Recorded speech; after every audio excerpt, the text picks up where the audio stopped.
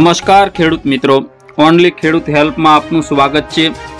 આજના સાંજના સાડા પાંચ વાગ્યાના મહત્વના સમાચાર જાણીશું જેમાં પેટ્રોલ, ડીઝલ પંચોતેર રૂપિયાથી પણ સસ્તું. અલ્પેશ ઠાકોર ગાંધીનગરથી ચૂંટણી લડશે. ધોરણ દસ બોર્ડની પરીક્ષાના ફોર્મ ભરવાનું ચાલુ. ભાજપમાં સાડત્રીસ વર્ષમાં વોટ શેર વધ્યા. ભાજપમાં ખાસ કરીને મોટા ફેરફારો જોવા મળ્યા. ચૂંટણી પ્રથમ તબક્કામાં સોળસો ને પંચાવન ઉમેદવારો વચ્ચે હરીફાઈ. મોદીજી ગુજરાતમાં ચાર સભા ગજવશે. તો આ હતા આજના મહત્વના સમાચાર. વિગતવાર સમાચાર જોઈએ. તો પેટ્રોલ ડીઝલ પંચોતેર રૂપિયા જેટલું સસ્તું થઈ શકે છે.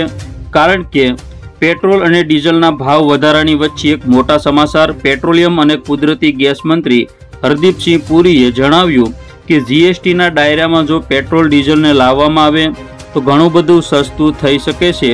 પચીસથી ત્રીસ રૂપિયાનો ઘટાડો જોવા મળી શકે છે અને પંચોતેર રૂપિયા કે તેના કરતાં પણ ઓછા પેટ્રોલના ભાવ અને અડસઠ રૂપિયાથી લઈ સિત્તેર રૂપિયા સુધી ડીઝલના ભાવ થઈ શકે છે. કેન્દ્ર સરકાર દ્વારા નિર્ણય લેવામાં આવ્યો છે પરંતુ રાજ્યો બધા રાજ્યો સંમત છે કે નહીં તેના ઉપર સંપૂર્ણ આધાર રહેલો આગળના મહત્વના સમાચાર. અલ્પેશ ઠાકોર ગાંધીનગરથી ચૂંટણી લડવાના છે. ભાજપે વધુ બાર ઉમેદવારો માટે યાદી જાહેર કરી છે. હજુ ચાર બેઠક ઉપર મનોમંથન ચાલુ છે. ગઈકાલે ભારતીય જનતા પાર્ટીએ ગુજરાત વિધાનસભા ચૂંટણી માટે બાર ઉમેદવારોની યાદી જાહેર કરી, જેમાં ગાંધીનગર દક્ષિણ બેઠક ઉપરથી અલ્પેશ ઠાકોરને ટિકિટ આપવામાં આવી છે. રાધનપુરથી લવિંગજી ઠાકોર ટિકિટ આપવામાં આવી છે. એકસો બ્યાસીમાંથી એકસો અઠ્યોતેર જેટલા ઉમેદવારોને જાહેર કરી દેવામાં આવ્યો છે. ચાર સીટો માટે હજુ ખેડા ખેરાલુ માંજલપુર અને માણસા બેઠક ઉપર કોને ટિકિટ આપવી તે નક્કી થઈ ત્યારબાદના સમાચાર જોઈએ તો ધોરણ દસ બોર્ડની પરીક્ષાના ફોર્મ ભરવાનું ચાલુ થઈ ગયું છે. જેમાં ખાસ કરીને જરૂરી માહિતી શિક્ષણ બોર્ડની વેબસાઇટ ઉપર મૂકવામાં આવશે. આગામી તેર ડિસેમ્બર સુધી વિદ્યાર્થીઓ ફોર્મ ભરી શકશે તેવું શિક્ષણ બોર્ડ દ્વારા જણાવવામાં આવ્યું છે. વાત કરીએ તો ભાજપના સાડત્રીસ વર્ષમાં વોટ શેર વધ્યા છે જેમાં ઓગણીસ પોઈન્ટ નેવ્યાસી ટકાથી વધી ઓગણપચાસ પોઈન્ટ ઝીરો પાંચ ટકા જેટલા વોટ શેરમાં વધારો થયો છે.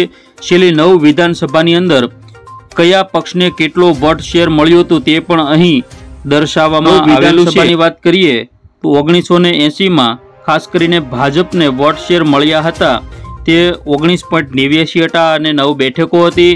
ત્યારબાદ આગળ વાત કરીએ તો ઓગણીસો ને પંચાણુંમાં બેતાલીસ પોઈન્ટ એકાવન અને એકવીસ બેઠક, ઓગણીસો ને અઠ્ઠાણુંમાં ચુમ્માલીસ પોઈન્ટ એક્યાસી અને એકસો સત્તર બેઠક, બે હજાર બેમાં એકસો ને સત્યાવીસ બેઠક મળી હતી. બે હજાર બારની અંદર એકસો ને પંદર બેઠક મળી હતી. તેમજ બે હજાર સત્તરની અંદર ભાજપને ઓગણપચાસ પોઈન્ટ જીરો પાંચ વોટશેર મળ્યા હતા અને નવ્વાણું જેટલી બેઠકો મળી હતી જ્યારે કોંગ્રેસમાં એકતાલીસ પોઈન્ટ ચુમ્માલીસ સાથે સત્યોતેર બેઠકો મળી હતી. બે હજાર સત્તરમાં ત્રણ અપેક્ષ ઉમેદવારો હતા જેમને ચાર પોઈન્ટ ત્રણ ટકા વોટ શેર સાથે વિજેતા જાહેર થયા. ત્યારબાદના મહત્વના સમાચાર જોઈએ ચૂંટણી. પ્રથમ તબક્કામાં સોળસો ને પંચાવન જેટલા ઉમેદવારો મેદાનમાં. તો વિધાનસભાની ચૂંટણીમાં નેવ્યાસી બેઠકો માટે પહેલા તબક્કાની જે ચૂંટણી થવાની છે, તેમાં સોળસો પંચાવન ઉમેદવારો મેદાને જંગમાં ઉતર્યા છે. આ સૌથી મોટી બાબત બે હજાર બાવીસ માટે ગણી શકાય. ત્યારબાદના અગત્યના સમાચાર. મોદીજી ગુજરાતમાં ચાર સભા ગજવવાના છે, જેમાં ખાસ કરીને ગુજરાત વિધાનસભાની ચૂંટણીને લઈ તમામ પક્ષોને પ્રસાર પ્રસાર વેગીલો બનાવ્યો છે. ભાજપ દ્વારા પીએમ મોદી વીસમી ચાર સભાનું આયોજન કરવામાં આવ્યું છે વીસ નવેમ્બરે.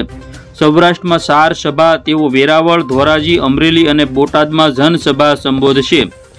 તો આ હતા આજના મહત્વના સમાચાર. ફરી વખત મળીશું નવી અપડેટમાં. જોતા રહો ઓનલી ખેડૂત હેલ્પ યુટ્યુબ